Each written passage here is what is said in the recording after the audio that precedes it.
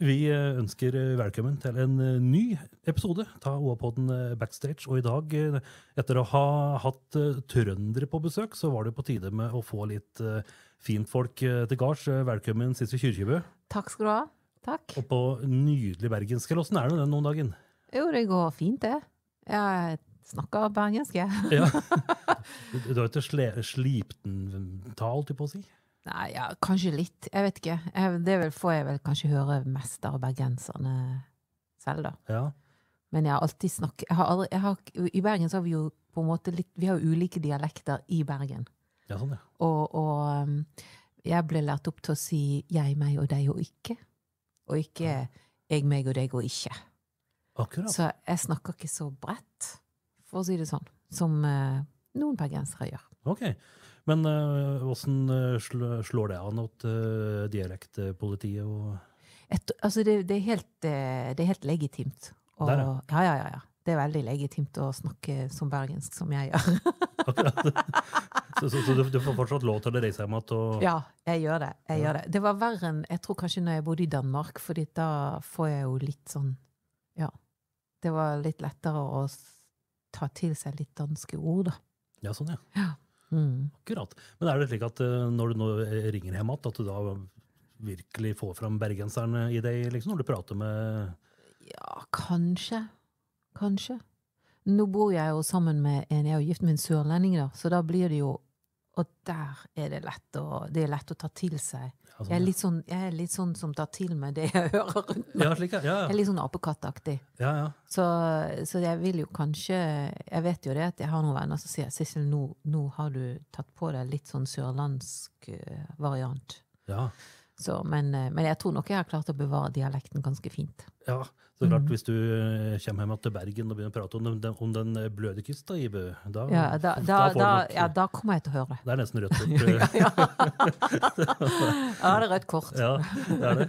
Men vi, vi driver og I dag var det jo veldig, veldig kaldt ute. Ja. Vi snubler oss fram på issvuller og det som verre er. Men du har begynt å tenke på våren, du. Eh, I hvert fall eh, musikk- og konsertmessig, for nå skal du på turné snart. Ja, jeg skal på, faktisk på turné i april. Ja, Og da skal jeg på en turné jeg har kalt for Snart er det sommer. ikke det deilig? det er deilig Du kjenner, du eh, kjenner ja. jo bare at du blir litt glad når du, når du bare tenker på at snart er det sommer. Ja, for da er det på en måte liksom en god ting som kommer nå, og så kommer det noe enda bedre. Ja, ikke sant? En sånn der ja. liksom. Ja, det er jo veldig bra, da. Veldig, veldig stas. Men du kommer jo nesten rett ifra en stor juleturné. Åssen var den, forresten? Jo, det var utrolig gøy. Ja. Altså, vi var jo på turné i Norge, Sverige og Danmark, som vi pleier, og um, ja, vi holdt oss friske alle sammen. Er det litt sånn bank i bordet? Ja, det er virkelig Ja. Bank i bordet. Det er virkelig det, altså. Fordi ja, året før der igjen så ble jeg jo Da fikk jeg faktisk eh, halsbetennelse. Det var jo ikke så gøy. Men, eh, men i år holdt vi oss absolutt alle friske, og jeg tar jo mine forhåndsregler med å Altså, jeg kan ikke ha noe sånn meet and greet, som det heter. Mm. Altså, jeg kan ikke Selv om jeg har Vi får jo mange henvendelser fra folk, for folk kommer jo faktisk fra hele verden på de julekonsertene. Og og det er jo klart at når de kommer kjempelangveis fra, så kunne jeg jo ønske at jeg kunne hilse på dem, men det tør jeg rett og slett ikke. Jeg tør ikke å hilse på noen. Stemmer. Er det, har du òg egen garderobe òg, så du er avskilt fra musikere? og... Ja, jeg har egen Ja. garderobe, og sånn som i Danmark, så, så har jeg faktisk funnet ut at da, Danmark er jo et fantastisk land å turnere i, fordi at eh, det er korte avstander til alt. Eller til by til by, som oftest er det veldig korte avstander. Så for eksempel når, du har, når vi da har alle konsertene våre på Jylland, eller alle de vi har på Jylland, så bor vi ett sted. Og så reiser vi ut derifra. Så det er en base, rett og slett? Ja, en base. Så da har jeg en base hvor jeg da har leier et sommerhus. Sånn at jeg ikke slipper å gå ned til frokosten og måtte bli smittet. Og du må tenke litt sånn, da. Det kjedelige er jo det at da Jeg lever jo veldig isolert, da. Så Mm. jeg, jeg får jo ikke det å være sammen Så jeg treffer jo liksom bare crewet og, og de i bandet. De treffer jeg jo egentlig bare når vi har lydprøver og konserter og sånt, da. Men, men eh, det er jo litt kjipt, da. Men sånn er det. Ja. Er, det, er det sånn Har du det slik hele tida, eller eller har du, har du valgt å ha det slik hele tida, eller er det Når du på en måte føler at du kanskje kan være litt sånn små, smågrumsete i, i, i hersen, og det kan, kan, kan bli forkjøla, holdt jeg på å si? Eh, Nei, altså det er jo, det er jo ett sett fordi at det er så Det er jo liksom en årstid hvor det florerer veldig mye. Så du må liksom bare ta dine forhåndsregler, rett og slett. Og, og det, det, det må jeg bare gjøre. Og, og selvfølgelig det at jeg tar sånne forhåndsregler, det gjør jo også til det at eh, resten av teamet rundt meg, at de også passer litt ekstra på, da. Sånn at man ikke, det er ikke den årstiden altså Akkurat når vi er på turné, så er ikke det der man er sånn mest sosial og hele tiden går ut og treffer folk. Og, så, så alle passer jo liksom på, da. Mm. Jeg tenkte på, Det er jo mange som uh, måtte ha en slags bandbakgrunn, og så liksom går de solo, sånn heter det. Eh, Du har jo på en måte vært deg sjøl helt siden du var uh, veldig, veldig ung. Uh, eller har du, hatt, har, har du spilt i band når du var uh, konfirmant, holdt jeg på å si? Eller har du bakgrunn der? Nei, jeg har ikke bandbakgrunn, men jeg har korbakgrunn. Ja. Så jeg har jo sunget i mange kor. Mm. Og det er jo egentlig litt av det samme, Mm. vil jeg si. Fordi at eh, Eller det er det samme, fordi det handler jo om at du er en av mange. Og at du At du er et team.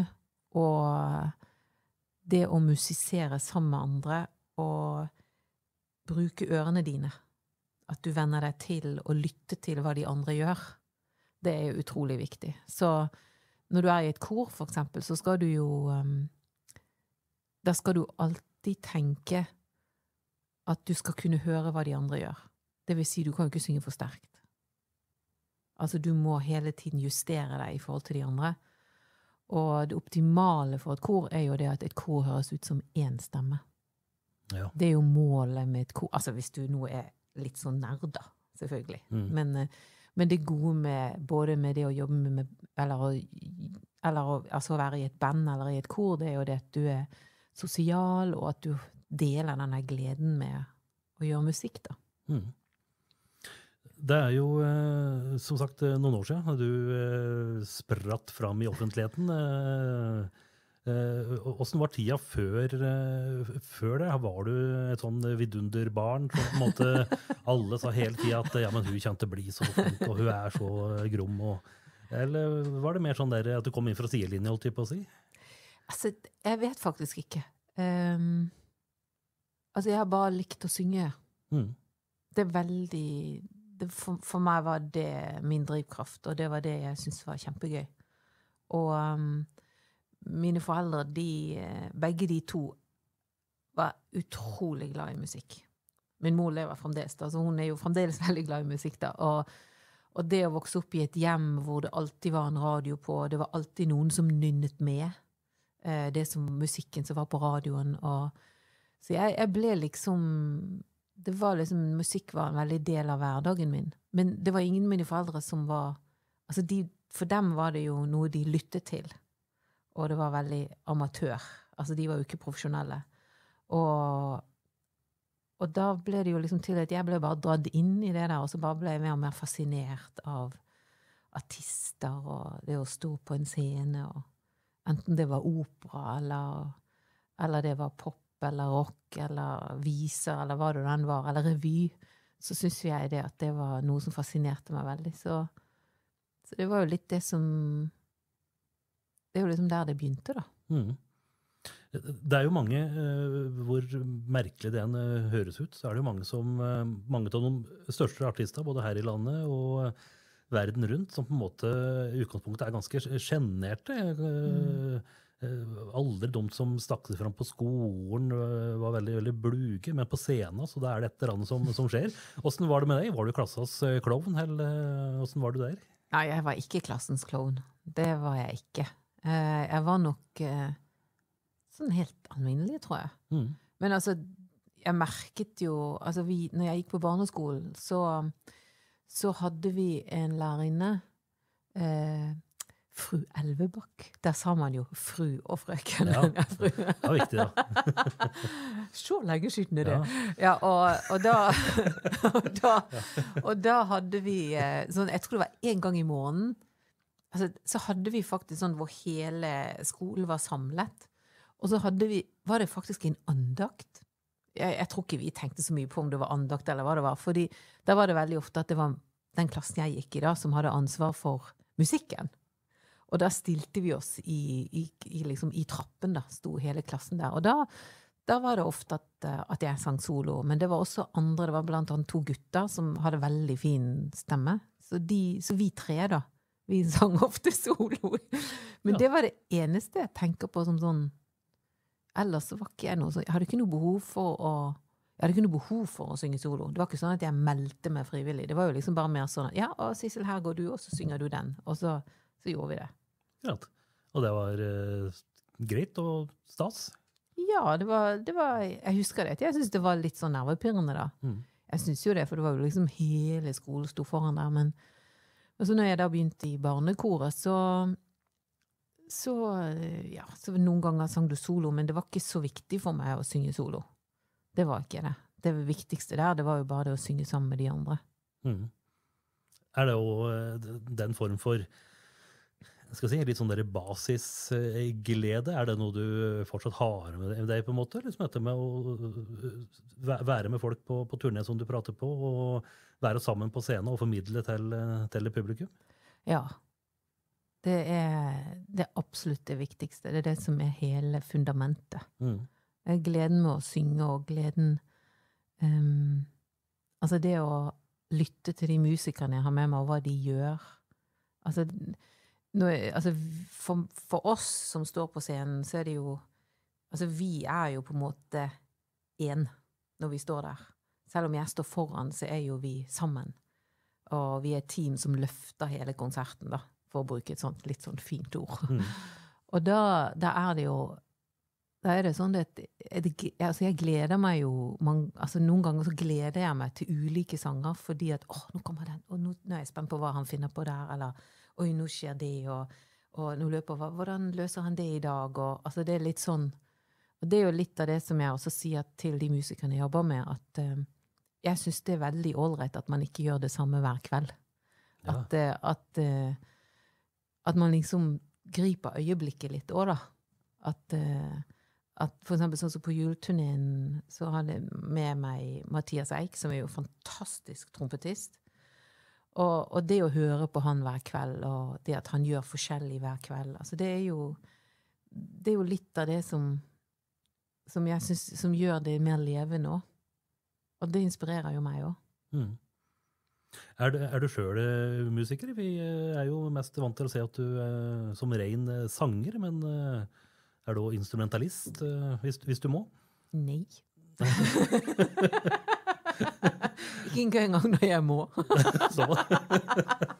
da det helt eh, Da blir det stille. ja, altså, jeg har jo jeg har noen, Fordi jeg spilte i musikkorps, så jeg har jo liksom tatt med eh, kornetten da, ja. på scenen. Men den ble gjemt godt bort når Mathias Eik kom frem med trompeten.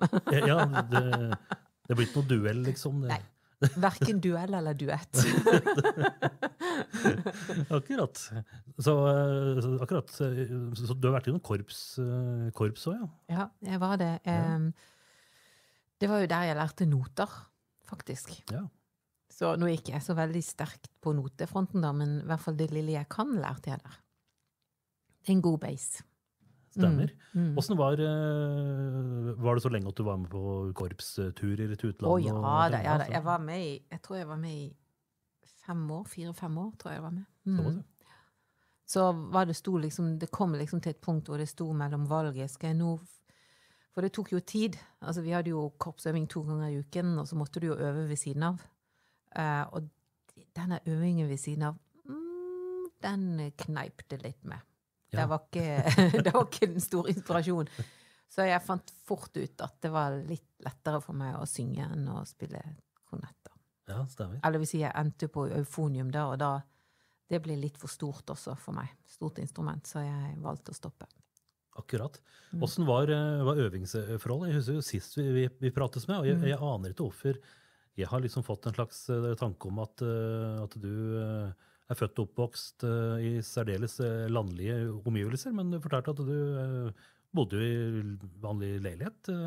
Ja, jeg bodde i en liten blokk, eller en stor blokk. Det, ville, det var jo 14-15 etasjer, så den er jo forholdsvis høy, da. så jeg vokste opp i en litt sånn forløper til en drabantby da, utenfor Bergen. Ja. Mm. Kanskje ikke de beste øvingsforholdet for trompet- eh, eller kornettspilling. Nei, jeg tror ikke det. Jeg tror ikke akkurat de tenkte så veldig mye på det når det huset ble bygget. Nei, så, men du fikk eh, øvd litt, i hvert fall. Så, Ja, jeg gjorde det. Jeg fikk øvd litt. ja, det var et, Men det måtte jo være stille etter klokken ti, da. Så Ja, ja, det var jo litt sånne strenge regler. stemmer, ja. Mm. Så da fikk du øvd litt eh, Ja, litt. uten at naboen ble altfor Ja. alt for gærne. Har, du- har du møtt noen gamle naboer som har kjefta på deg etterpå? Eller har det gått Nei, jeg har ikke det. Jeg har ikke det. Jeg har ikke møtt noen naboer som har kjefta. Nei. Nei. Hun sier heller at jeg husker du spilte så fin kornett, Sissel. Det var det beste jeg hadde hørt. Ja, det, hvis jeg hadde sagt det, så hadde jeg jo blitt veldig overrasket. Eh, Jeg tenkte på eh, Vi husker jo alle at du eh, kom fram på TV-skjermen både med Det var jo et Syng med oss, var det vel hette? Og, og så kom jo Var det under Grand Prix, da? Pauseinnslaget der. Mm. Da var du Hvor gammel var du da? 16. 16 år, ja. Mm. Og var det på en måte Var det, var det da du på en måte ble si, heltidsmusiker, holdt jeg på å si, i så ung alder? Ja, det var, det var egentlig det. Altså, jeg gikk jo fremdeles Jeg gikk jo i første klasse på gymnaset, så um, Ja. Men det var Det gikk jo det, Altså, det var jo sånn hvis ikke jeg var på skolen, så var jo jeg ute og sang. Mm. Det var faktisk sånn. Så du har liksom ikke vært i noen andre bransjer enn en, en, en musikken, liksom? Nei, jeg har ikke det. Jeg har ikke det. Og når du var 17-18-19 år og fartet rundt og sang for folk, så satt da mor og far hjemme og tenkte at hun må da snart skaffe seg et ordentlig arbeid. Det, hun må da snart gi seg med den sangen. Nei, faktisk tenk, Jeg vet ikke hva de tenkte, egentlig. Fordi um, jeg opplevde vel heller det at de Jeg visste jo det at uh, de ga meg jo en veldig stor frihet, da, til å gjøre det jeg ville. Mm. Uh, og jeg visste at de alltid var der og støttet meg. Og um, jeg, jeg husker min far, han fortalte det at når jeg var ni år Når jeg var ni år, så meldte jeg meg på en sånn veldig, veldig lokal talentkonkurranse eh, i Bergen. Og det var, det var sånn at eh, Ja, den konkurransen skulle foregå på et shoppingsenter. Nu. Yes. Og så var det jo da prøver dagen før. Og jeg hadde jo, dette var en sånn sommerklubb, sånn ferieklubb, som var i Bergen. Og begge mine foreldre de jobbet, så jeg var jo veldig mye aleine. Så derfor så hadde jeg meldt meg på denne ferieklubben. Og da var det jo plutselig så sto det jo det talentkonkurranse. Så tenkte jeg nå, ok, ja, da hadde jeg jo liksom begynt å synge i kor. Og så tenkte jeg nå, da hadde jeg jo sunget mye i koret, men så tenkte jeg kanskje, kanskje skulle prøve å se hvordan det var å synge liksom aleine uten kor. Så jeg meldte meg på, da, men jeg sa ingenting til mine foreldre før Ja, før dagen før Eller ja, to, dagen, da, ja, to dager før. Fordi at det viste seg at vi skulle jo da ha prøver etter at shoppingsenteret var stengt dagen før, på fredag kveld. Og dette var jo et stykke utenfor byen, så jeg var jo nødt til å spørre om mine foreldre kunne kjøre meg. Mm. Og da måtte jeg jo krype til korset og fortelle. Det var avslørt der, ja. Ja, så da ringte jeg til min mor på jobb, og så sa jeg, mamma, ehm, eh, altså, jeg bare lurte på, i morgen etter jeg er ferdig med jobb, kunne, tror du at jeg kunne kjørt meg ut til Fyllingsdal, fordi, ja, jeg har meldt meg på en talentkonkurranse. Og mamma ble litt sånn stille, og så sier hun, nå har du det? Ja, men det er jo klart, jeg skal bare ringe pappa og høre at, om, ja, liksom sånn at han ikke skal noe sånn. Og så, så ringte hun min far da, og så fortalte hun det da, og da ble min far stille, og så sa han bare Men talentkonkurranse? Men kan Sissel synge, da? altså, I ettertid så har min far sagt det at Ja, men altså, det jeg mente, det var egentlig det at Altså, talentkonkurranse og liksom Det er jo Egentlig syns jeg jo det forteller veldig mye, for de, de var jo vant til at jeg sang hele tiden hjemme. Mm. Men de, de var ikke vant til å sammenligne meg med andre. Nei, sånn, nei, nei. Så de tenkte jo ikke noe over at om jeg var liksom god nok til å synge i en talentkonkurranse, eller om jeg var De visste jo at de likte jo at jeg sang og syntes at jeg hadde fin stemme og sånt, men, men, men de var jo liksom foreldre. Ja. Og da elsker du jo din barns røst. Sant? Så, Ja, ja. så, men så, når vi da kom på talent, skulle ha prøve, da, og da hadde han som sto for arrangementet, så når jeg var oppe og sang, da, så hadde så hadde jo min far stått der, og så hadde han jo hørt alle de andre som sang, og så kom jeg opp, og så begynte jeg å synge. Og da sa min far det. Da begynte han liksom å skjønne at hm, hun, er jo ganske, ganske ok til å synge, Sissel. Og så kom han som hadde med arrangement å gjøre, så sa han det. Kom bort. Er det din datter, det der? Ja, det er det. Hun tror jeg kommer til å nå langt. Akkurat. Så det var jo første gang min foreldre da hørte meg i et sånt offentlig stort rom, og ja, sammen med andre, Ja. hvor jeg sang solo, da. Her kan det bli inntekter, tenkte Ja, han. ja. jeg tror ikke han tenkte på det i det hele tatt. Jeg tror ikke han tenkte så langt engang. Men det var i hvert fall, det syns jeg er litt søtt. da. Jeg syns det er litt sånn hyggelig å tenke på at mine foreldre var over, fantes ikke pushy, eller De lot meg jo da bare få lov til å teste ut og se hvor langt jeg ville gå.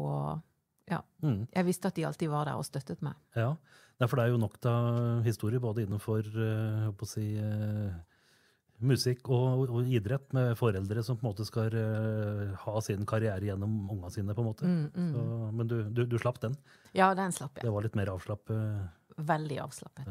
Mm. Så, men åssen gikk det etter hvert? da? Du, du har jo liksom synge med det som kan krype godt. Da. Ta, ta profiler. Uh, har, har du med, eh, Ga du noe respons på det? Når du, du har jo eh, vært eh, med Er det alle tre til Tenora?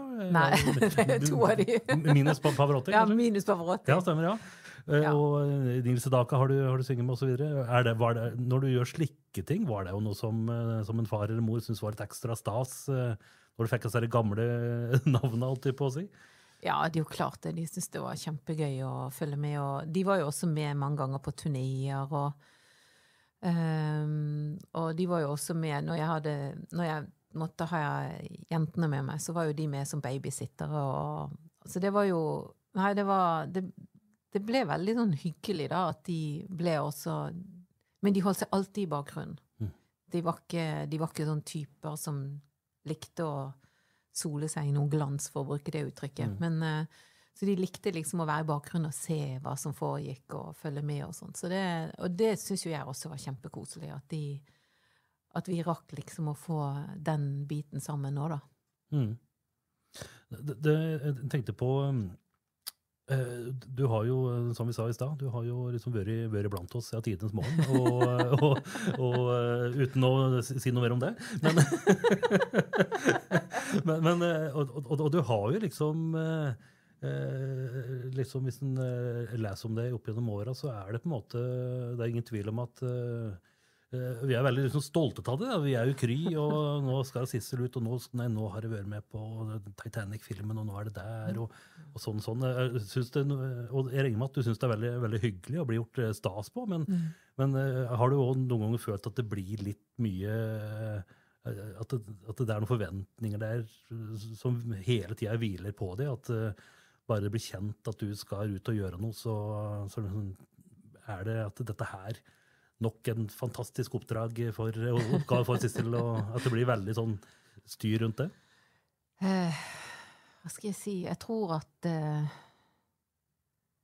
Jeg tror nok det at jeg eh, Jeg kjenner nok ikke så veldig mye på den forventningen sånn direkte selv. Mm. Fordi eh, jeg er så fokusert på det jeg skal gjøre. Um, og så tenker jeg Det blir vel bare mer det, det Jeg må liksom tilbake til den gleden igjen. Altså, det er veldig Men man må ikke miste fokuset på hvorfor man gjør det man gjør. Um, og så er jeg jo klar over det at det er jo Altså, det, det skjer så mye rundt en som man ikke kan styre. Så derfor så er det desto viktigere at jeg må i hvert fall gjøre det beste jeg kan, og, og gjøre det på en måte som, ja, som er troverdig for meg, da. Mm. Uh, og så er det jo det at når man får disse store oppdragene som jeg har vært så utrolig heldig å få lov å være med på, så er det jo klart at veldig ofte så Altså, det er jo klart at jeg blir utrolig rørt over at jeg har fått de oppgavene jeg har fått, og har fått lov til å være med på det, alt det jeg har vært med på. Um, det er jo Men når du er i øyeblikket, så er du så mye i det du skal gjøre, at du tenker ikke på så mye på det rundt. Mm. Fordi du må ha sånn fokus på det du skal gjøre.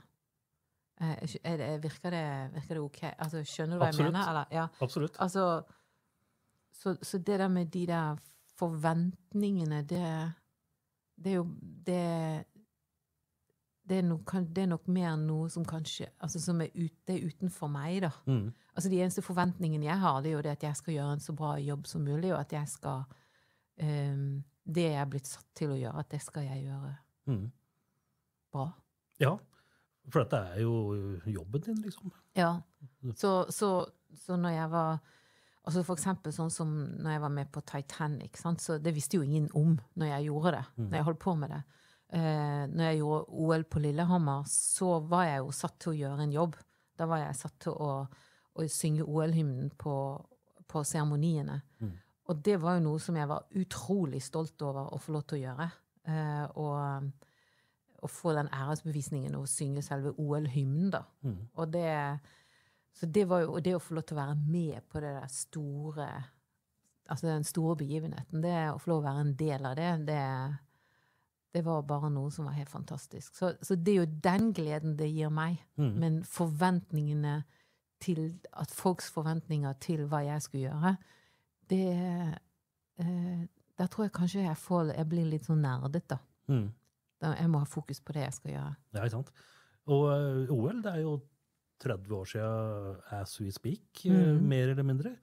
Åssen uh, har du husker den, eh, den tida? For eh, du verden, og det var uh, ståa ikke både under, men òg før uh, sjølve OL òg. Åssen eh, var det du fikk eh, vite om Når, når, når, når du fikk eh, eh, forespørsel om å bli med på sjølve seremonien og bli en såpass viktig del av kickoffet? Vet du hva, jeg kan ikke, jeg kan ikke huske sånn cirka når, eh, når det skjedde.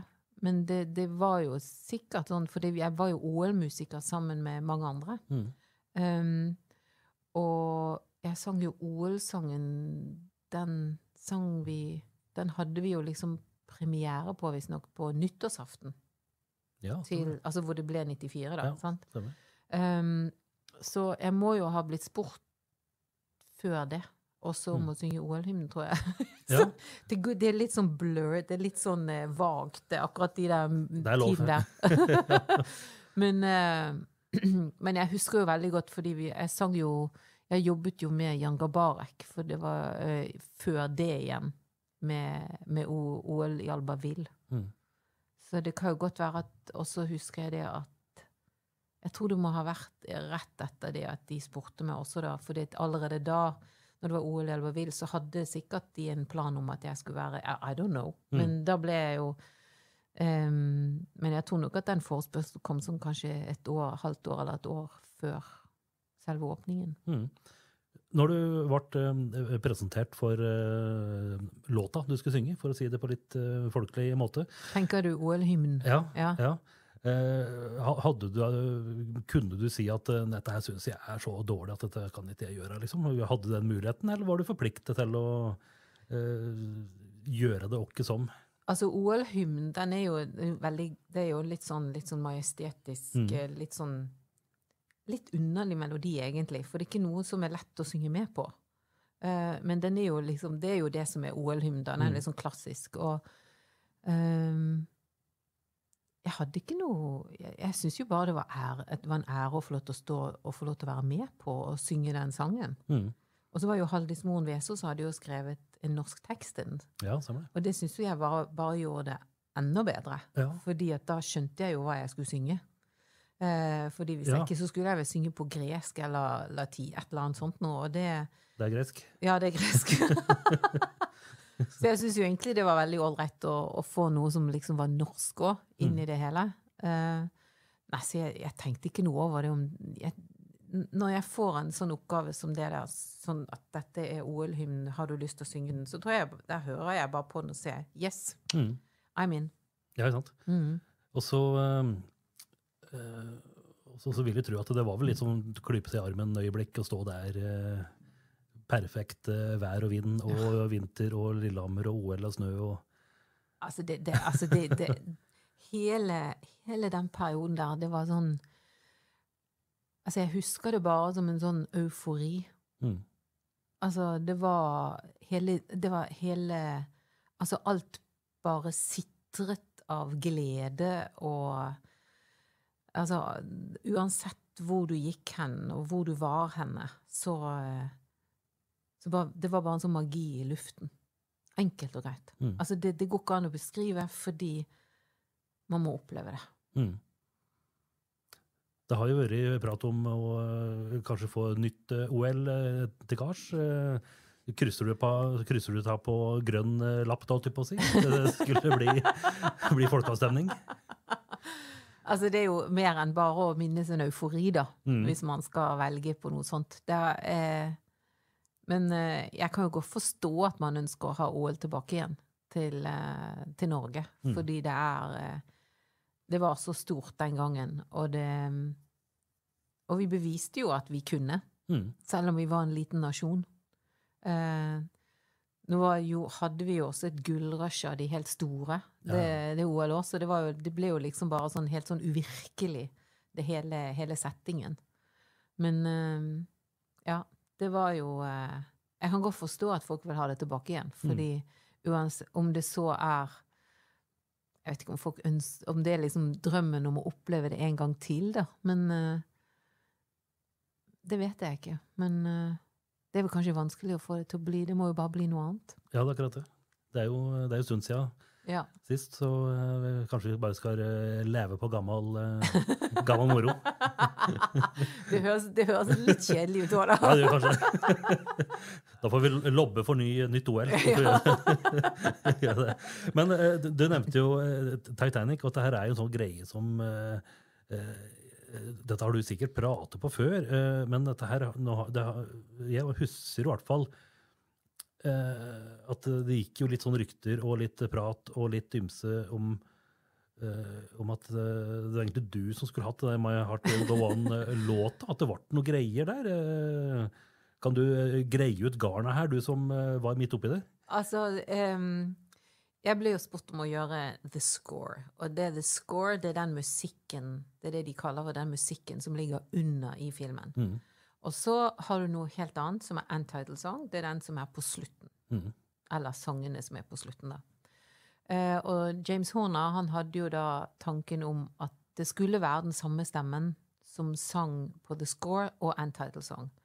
Men det visste jeg ingenting om før um, seinere. Og det var jo det at um, um, musikken til Titanic, det var, kom ut på budrunde. Ja. Og da var jo det forskjellige store plateselskap som bød på musikken. Og da jeg var på det som den gang het Polygram, i dag er det Universal, men da var jeg på Polygram, og Polygram tapte budrunden. Og da var det Sony som vant, som da var et annet plateselskap. Og jeg var jo ikke Sony-artist. Så da var det jo naturlig at Sony valgte en av sine artister. Og der er Céline Dion. Og, men det som var, som jeg syns er veldig flott, det er jo det at um, James Horner, han hadde jo faktisk flere ganger Altså han og Celine hadde Han, hadde, det, han fortalte meg det at han hadde flere ganger um, ønsket å ha hun med på noen filmer, og noen ganger så tror jeg kanskje de også hadde spilt inn, og så plutselig ble det ikke noe da likevel. Um, så han følte jo liksom det at han skyldte Celine noe. Så for han ble det jo også det at når da Sony foreslo at han måtte ta en Sony-artist, så ville jo han da ha Celine. Og da jo, ble jo liksom ringen sluttet. Og det syns jo jeg på en måte forteller veldig mye om altså, og, og, og for å si det sånn, Før James fikk vite om at Celine, at det var en option med Celine, da, så, så husker jeg det som traff hjernen. Og da, da var jeg kommet tilbake til LA, og da hadde vi akkurat funnet ut at ja, det var Sony som vant budrunden da. Og da fortalte han meg at han hadde vært livredd for at jeg ville trekke meg fra hele prosjektet, da, fordi at ikke jeg fikk N-title-sangen. Og da sa jeg bare til han, ja, men James, altså, for det første, jeg er, du har i første omgang, altså du har hyrt meg til å synge på The Score. Du har orkestrert alt, altså du har gjort alt rundt min stemme. Du har arrangert tingene rundt min stemme, og du har tenkt på min stemme når du lagde det. Altså, det syns jeg er så stort for Mm. meg å være med på, så det er Og jeg syns bare det er så fantastisk å få være med på dette prosjektet her, at en titlesong, det er jo det er en helt annen ting. Mm. Så Så jeg hadde ikke noe problem med det overhodet. Og så syns jeg jo det at Céline Dion synger den veldig bra, da. Absolutt. Men, men, sitter du likevel og hører på at uh, dette kunne jeg gjort bedre? Nei, jeg tenker faktisk ikke sånn. Jeg, altså det, jeg, jeg gjør faktisk ikke det. Og jeg har kun sunget den én gang. Mm. Og, og det var på Royal Albert Hall, hvor vi gjorde eh, vi gjorde, Det var verdenspremieren på eh, Titanic Live. Ja. Hvor vi, hvor vi Altså hele orkesteret og alle de solistene som var med, og kor og alt mulig. Eh, vi gjorde musikken live mens filmen gikk bak på storskjerm. Det er den eneste gangen jeg har sunget den. Åssen eh, var den eh, følelsen, eh, holdt jeg på å si? Det, Nei, det var jo det var selvfølgelig litt spesielt, da, men jeg kunne jo ikke gjøre noe annet enn Da måtte jeg, tenkte jeg jo litt sånn som James hadde tenkt, da. Mm. At det skulle liksom være den samme stemmen og den samme stemningen som gikk i ett, da. Så ja, akkurat. så, Så- gjorde jeg det. Ja. Men for en kveld det måtte være, å sitte i salen og se på film med live eh, Ja, det var, det var, altså, det var jo fullsatt Roy Albert Hall. Altså, det var, det var, altså, det var helt, for å bruke et godt norsk ord, insane. det var, var en helt fantastisk opplevelse. Og eh, han som spiller sånn Alien Pipes, altså sekkepipe, han heter Eric. Og Eric, han Jeg husker det så godt jeg, det, var akkur, det var faktisk akkurat når jeg hadde sunget My Heart Will Go On. Og så så, så jeg ned på Eric, for han satt jo ved siden av meg, så så jeg bare at han satt og gråt, og så sa han bare Cecil, this is We are here in Roy Albert Hall, and we are together. This is Han, var altså, han, han bare satt og gråt, og, og folk var liksom helt ville. Og den der scenen hvor, eh, hvor det er fest på tredje klasse, Mm. eh, og hvor, eh, hvor det er liksom full fest sant, med Bygdefolk, altså. ja, med bygdefolk, sant? med feler og full rulle og Altså, da var det som om Da var hele Royal Betal med på den festen. Og det var sånn at de ville ikke gi slipp, men forts filmen fortsatte jo. og folk var bare helt elleville. Det var som om Ja, folk var helt ville. Så det var eh, Ja, det var en utrolig opplevelse. Ja, det ble et sjøslag, rett og slett. Ja, ja. det var, det var Nei, det var, det var det er en sånn opplevelse som man bare tenker på at det, skal jeg huske. Det kommer jeg til å huske for resten av mitt liv. Ja, fy søren.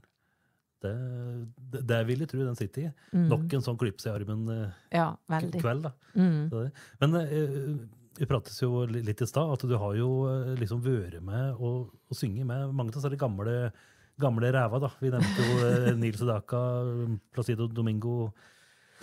José Carreras eh, osv. osv. Eh, har du litt like, artige litt sånne bakomhistorier eh, som eh, tåler dagens lys? For det, det må vel eh, litt artige situasjoner som kanskje har skjedd eh, i møte med disse gamle legendene òg? Ja. Det er jo Det har det, det, har det jo selvfølgelig skjedd. Um, altså Skal vi se um, jeg husker- med Nils Sedaka, da var jeg jo um, Da var vi hjemme hos Rune Larsen. For Rune Det var jo Rune som på en måte formidlet den kontakten til Nils Sedaka. Mm. For det, Rune, hadde, Rune Larsen hadde Momarkedsshow, og det var jo Lollipop. Og så hadde han invitert Nils Sedaka, og det var da jeg sang Solitaire for første gang. Da satt jo Nils Sedaka og spilte piano. Og så endte det opp med det at Neil og jeg vi reiste faktisk på en turné sammen. Og, um, og da når vi var i Bergen, så inviterte Rune oss hjem til seg med band og alt. Og Rune, han bodde den gangen bodde han Altså, han bodde høyt, høyt, høyt oppe i Starafossen, heter det. Og det er rett nedenfor på en måte Fløyen. Så du bor Og han hadde det siste huset. Så du nærmest sånn Du gikk bare ut fra huset ditt, og så gikk du rett opp på Fløyen. Så Ja, det var liksom Det gikk en sti fra hagen og ut og opp. Og når vi da skulle fortelle Nils Daker dette her, da, at eh, ja, ja, ja, ja, og så um, så, så, så Det er så fantastisk her. For han sa wow, what a view, for det er jo fantastisk utsikt og sånn. Og sier han ja, ja. Og faktisk er det sånn at her kan du bare så her er det, det dette siste huset rett fra skogen og fjellet og sånn, så her går du bare ja, du, Der går stien der borte, og så går du tur oppover på fjellet, så kan du gå langt, langt innover vidden. Så ble det helt stille, så sier han bare Oh, but why? Det er et godt spørsmål. Ja, det var altså Han skjønte ikke helt poenget med det. Nei. But why? Friluft, det var ikke Ja, noe nei, han nei, det eh, var drev med. Det var, but why? Det var liksom litt sånn underlig. Men, um, men så husker jeg det var en gang i, uh, i Moskva. Det skulle være julekonsert med José Carreras og Place Domingo.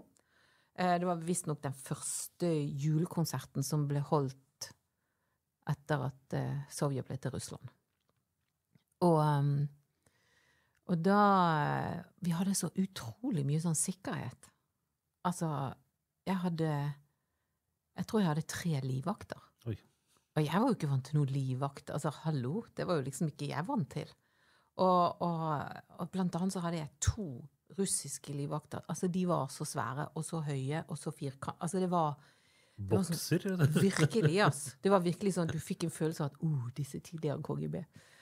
Og så, så jeg var jo litt, ble jo litt sånn eh, Det var jo liksom sånn når vi kjørte, så var det nærmest som med sirener. Altså det var, det var, det var Jeg syns det var litt for overveldende. Så jeg syns nesten det var litt ekkelt. Så du ble jo litt sånn eh, eh, Du ble jo litt sånn Du fulgte litt mer ekstra med, da. Så du ble litt sånn på alert, on alert, som det heter. Altså jeg var jo litt sånn oppmerksom på alt. Så, så så jeg det at for de første prøvene, når vi kom på den svære arenaen hvor vi skulle eh, ha konserten, da, så um, så, så jeg det at eh, jeg skulle stå i midten, og så sto Placido på den ene siden og José på den andre siden. Og så så jeg det at de, José og Placido, de hadde to sånne plastikk-shields foran seg. Altså, sånne, ja, altså de akkurat som Du vet sånn som jeg hadde sett paven hadde, da. Sant? ja, ja, ja. Altså, eller litt sånn De var to sånne, sånne gjennomsiktige glassgreier eller plastgreier foran dem.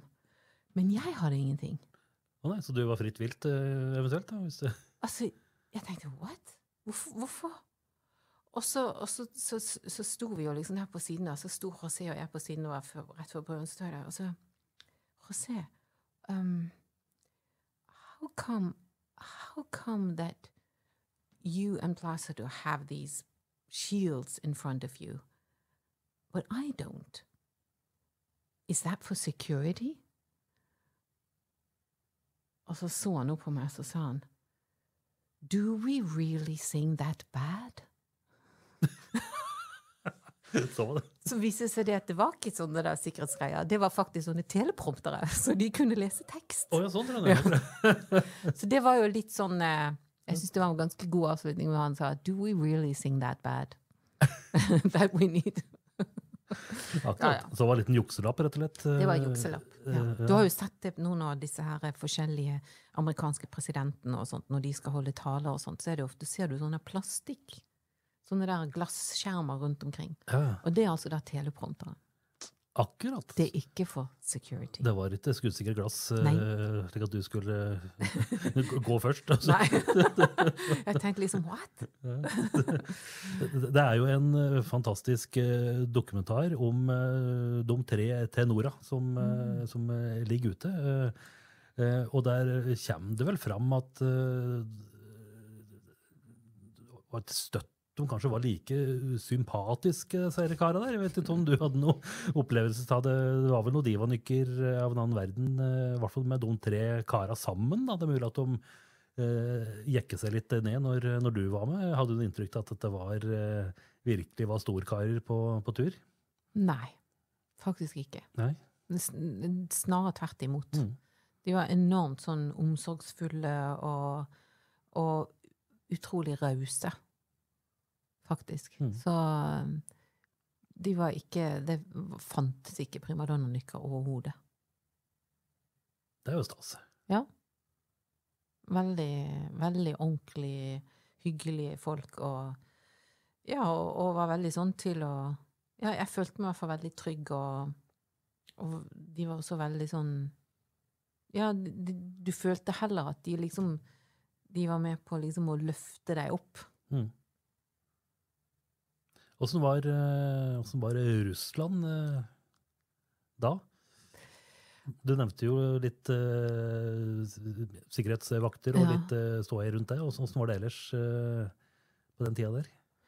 Altså, det var jo Nå er dette veldig mange år siden. Det er jo over 20 år siden, faktisk. Um, men men det, jeg opplevde det jo egentlig som veldig Det var veldig spesielt. Mm. Veldig spesielt. Um, og så tror jeg bare det er blitt mer spesielt etter det. Mm. Ja, det virker sånn. det ser vi jo nå. så- Ja, altså, det er um, Ja.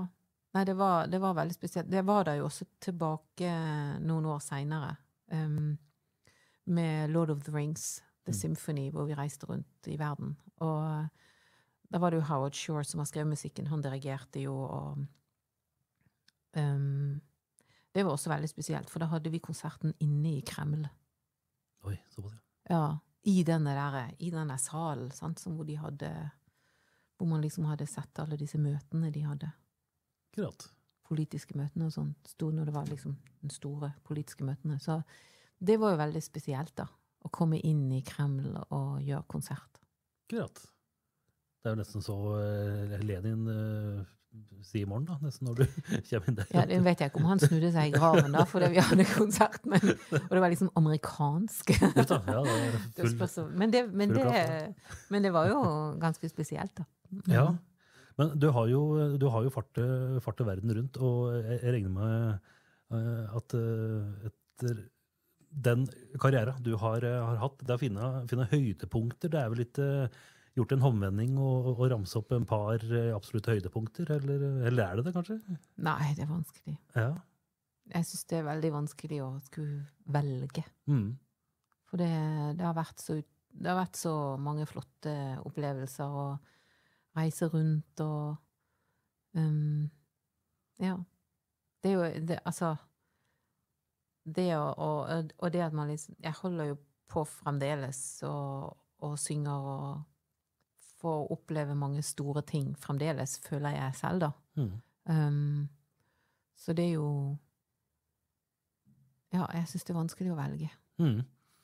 Åssen har det vært eh, altså det er jo, Vi nevnte litt eh, på det i stad. eh, Med alt det du har gjort, og det Så, er det jo så har det jo blitt litt sånn nasjonalskatt, da, og en, en som, ei som alle på en måte vil ha en liten bit av, som det heter.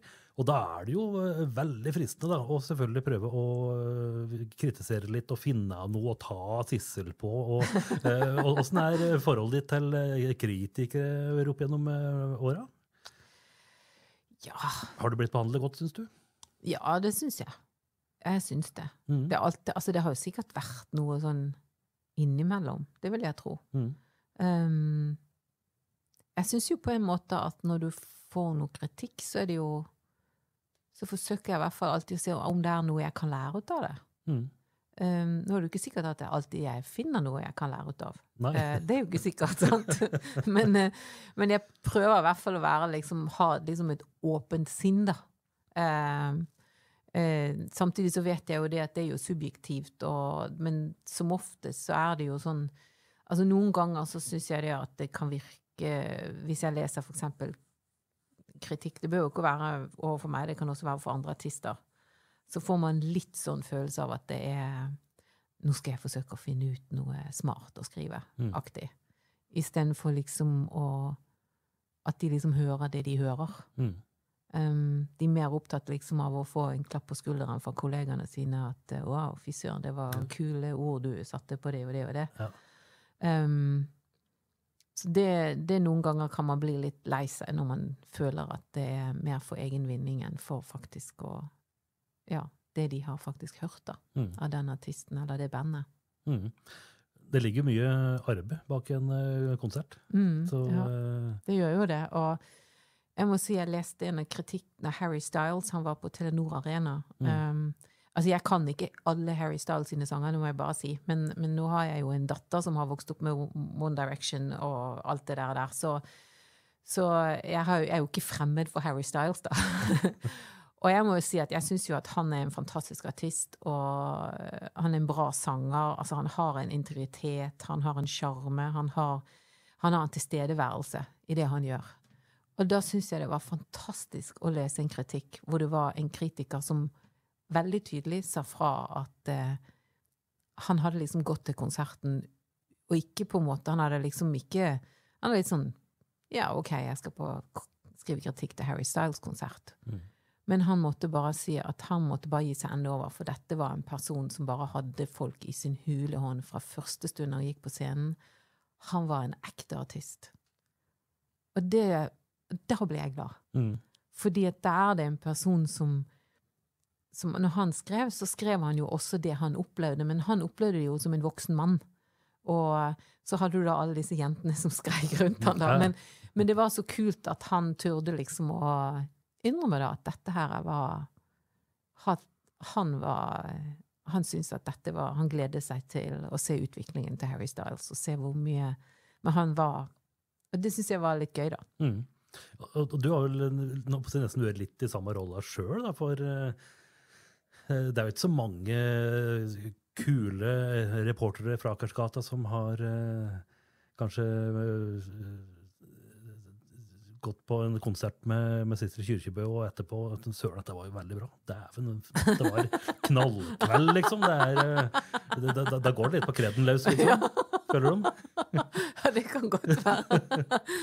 Men uh, i disse tider hvor man har så mye nedskrenkninger, så er det jo sjelden det kommer en kritiker på konsertene. Ja, det. Det men, jeg, men jeg husker veldig godt Jeg hadde en, en, eh, en turné i Danmark. Dette er jo noen gode år siden, da. Og da var det jo sånn at jeg mener han var Ekstrabladet-journalist og kritiker, og han eh, og han kjente jeg jo litt fra før, da, men han var jo virkelig en sånn rockatype. Og så hadde jo de da selvfølgelig sendt han på konsert med meg. Ja. Eh, og han kom jo etter konserten, så kom jo han backstage og sa det. Vet du hva, Sissy, jeg skal bare være ærlig med deg at uh, jeg ble jo sendt opp her fordi de ønsket at jeg skulle slakte det, men det kan jeg ikke. Der. Så uh, han syntes det var sinnssykt bra. Men han elsket jo musikk. Mm. Altså, han, han var virkelig elsket musikk, og, og han kunne jo da høre det vi gjorde. Og selv om ikke jeg gjorde nødvendigvis den musikken som han hørte mest på, så var det jo bare det at han fikk jo en opplevelse som han syntes var bra. Så deilig, ja. Mm, ja, det, for meg var det veldig sånn Jeg ble jo litt sånn wow. Så selvfølgelig, konsertarrangøren var jo skitnervøs når de så at han skulle komme og sitte i salen, men Det gikk bra. det gikk veldig bra. Det gikk bra. Vi, vi får se. Da. Eh, Nå er det jo eh, i april. Da skal du til Fjellhaven. Ja. Du har jo vært i Fjellhallen mye. Ja. Eh, Har du vært i Haven? Og, Nei. Nei, sant? Jeg har aldri vært i haven. Nei, sant? Det er med tre a-er. Så Haven, ja. Ah, Det er litt, litt mer ordentlig der, da. Ja, det er det, ja. Ha, ha, haven. Haven. Så, men Ja. da er det rett og slett, eh, som du sa helt i starten, du er klar for å korte ned tida til eh, sommeren. Da Ja. skal det være vå- vårkonsert. Hva er det publikum får, får høre da? Det er eh, Ja. Det skal jo være en konsert som er bygger opp under dette med at vi venter på sommeren, Mm. og at sommeren er her snart. Og eh, ja, jeg har jo med meg selvfølgelig noen av de Altså sånn som kjærlighet og sin lys og innerste sjel. De gjør jeg jo. Mm. Men så gjør jeg sanger som er fra både Reflections-prosjektet mitt og de siste sangene som jeg spilte inn, og så blir det litt. Litt sånn blandet, rett og slett. Ja. Men det som jeg syns er litt sånn Som jeg syns er gøy med den konserten, det er jo dette Det er jo noe annet enn julesangene. Ja. Så jeg kan liksom få lov til å spille på litt andre ting òg, da. Uh, ikke nødvendigvis instrumenter, men altså Nå tenker jeg på Kjell Kornetten, da. ja, nei, jeg, tviler på Jeg skal spare folk, men hvis han kommer, så kommer han. Ja, ja, det er bonus. Ja, det er det klar bonus. Nei, nei altså det er jo eh, jeg, jeg pleier å si det at eh, det er en konsert som skal bygge på, på glede og forventning. Og, um, og så forteller det litt om hvor vakkert land vi bor i. Mm. For du har jo eh, gitt ut vilt mye musikk de siste åra. Du har jo virkelig uh, skrevet og spilt inn og gitt ut uh, matta, som vi sier Ja, på ja, bygda. ja metta. Ja, ja. Og da blir det litt, eh, litt eh, smakebiter eh, derfra, da. Litt ferskvare. Ja. Det blir også noe ferskvare. Mm. Så det er jo Ja. Vi får jo ikke tid til så fryktelig mye, for det, det blir jo bare å plukke, da. Ja, ikke sant? Og så Ja. Men jeg tror det skal bli veldig gøy. Jeg har med meg Bernt Rune Stray på gitar, eller gitarer. Ja, Og så har jeg Torjus Viali på piano og keyboard. Så jeg tror det skal bli veldig fint, altså. ja, det kun eh, Det blir som trio, nærmest. Ja, men det er ikke ja. trio. Akkurat. Og det er jo det som Og det gjør jo det at jeg kan reise på steder som jeg ja, opplever andre steder enn det jeg har vært før, da. Mm. Eh, For med juleturneen så må vi liksom Da må vi ha litt større arena. Ja. Må gønne på litt, da. Da må vi gønne på litt, ja. Ja, Så det, det syns jo jeg er kjempegøy. Mm. Og få komme til Fjellhaven. ja du kan bare glede deg. Er det sant? Ikke glede dem. Glede, gleder seg. Der er vi dis. Der er, Er, vi- er, vi- er en dyr? Ja, altså, der, er, der er det de, dem deres. Men, men eh, det er jo ganske koselig der, er det ikke det? Det har jeg hørt. Veldig sånn fin stemning og Absolutt. Ja.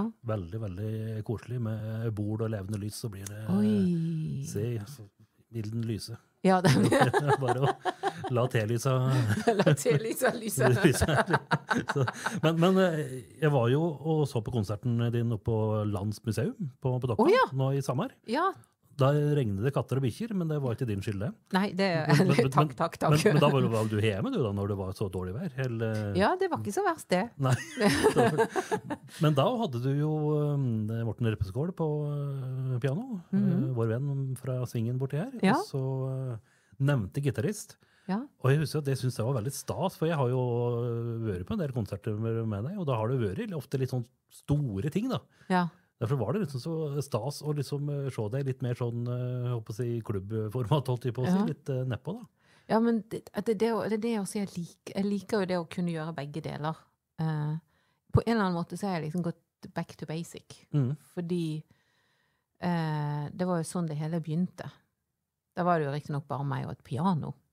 Sant? Så eh, en pianist. Så, men, men det å kunne dra det ned, og bare vi er oss på scenen, tre stykker som står der um, det er jo Det krever jo veldig mye av samspillet oss imellom, sant? Og Men samtidig er det jo utrolig gøy, fordi at alt kan liksom skje, på en måte. Mm.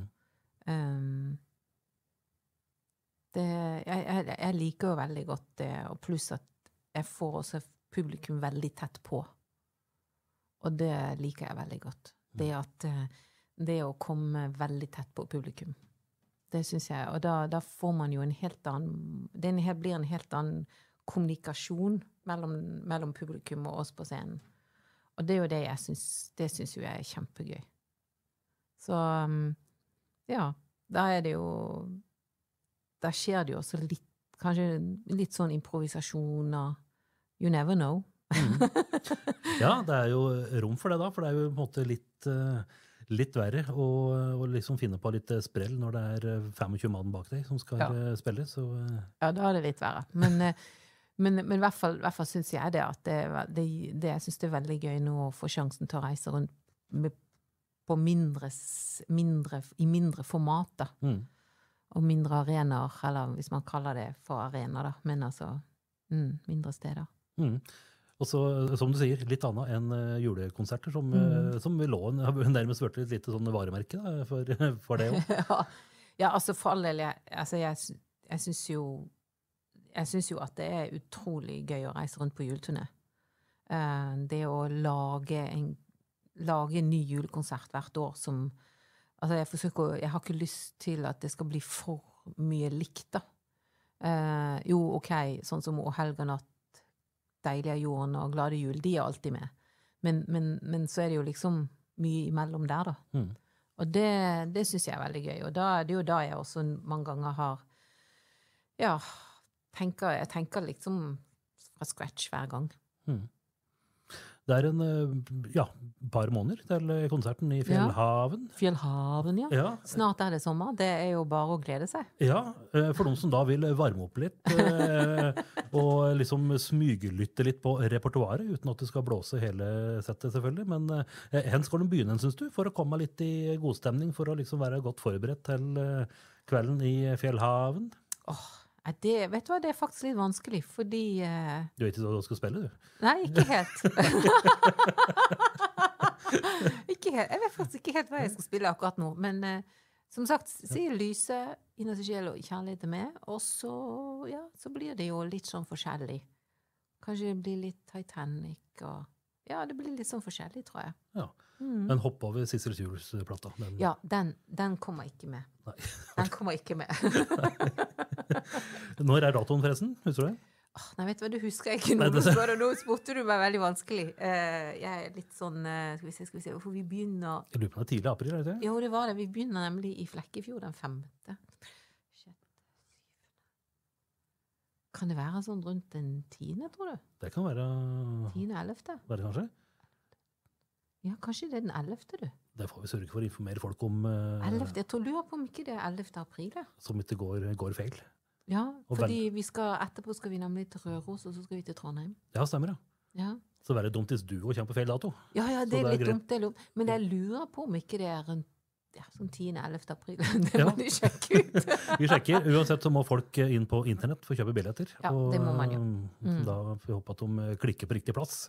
Ja, med riktig by. Ja, det, er Ja, det er veldig viktig. Hvis kan de risikere at de må kjøre veldig langt. Ja, det kan det være. Men det er jo støtt verdt en tur til Røros for å se på Sissel. Det, det, der skal vi faktisk være i kirken. Røros kirke. Ah, nydelig. Ja, det blir fint. Ja. Det gleder jeg meg veldig til òg. Røros i vårløsninga. Det må bli flott. Ja, jeg har hørt det at eh, det er veldig sort der oppe, da. Hvis ikke det er noe snø. Ja, ja, ja. Det er jo veldig mørkt sant, på grunn av eh, Gruver og ja, gruvedriften og sånn. Ja. fjell og sånt, så det er veldig Men jeg tror nok det skal bli fint.